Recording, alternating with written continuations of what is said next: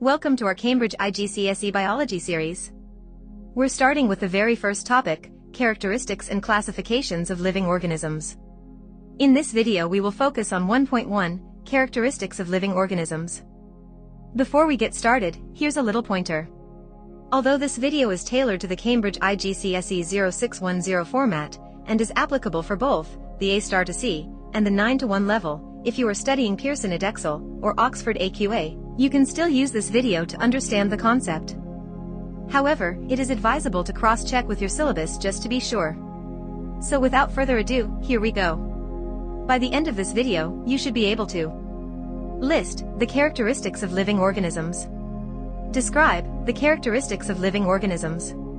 Understand how to identify a characteristic of a living organism. Okay, so first things first. All living things share seven essential characteristics of life. Whether it's a tiny bacterium, a towering tree, a cute puppy, or a human being. Let's take a closer look at each one of these.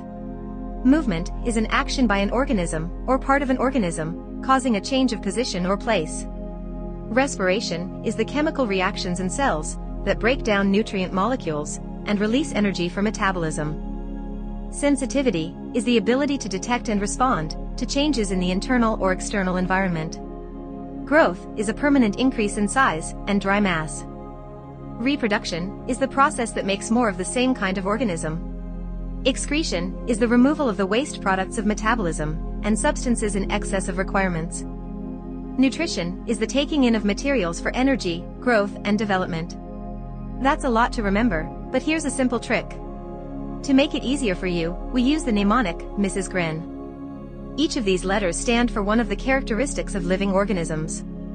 M for movement, R for respiration, S for sensitivity, G for growth, R for reproduction, E for excretion, N for nutrition. Just remember. Mrs. Gren keeps living things alive. Next up.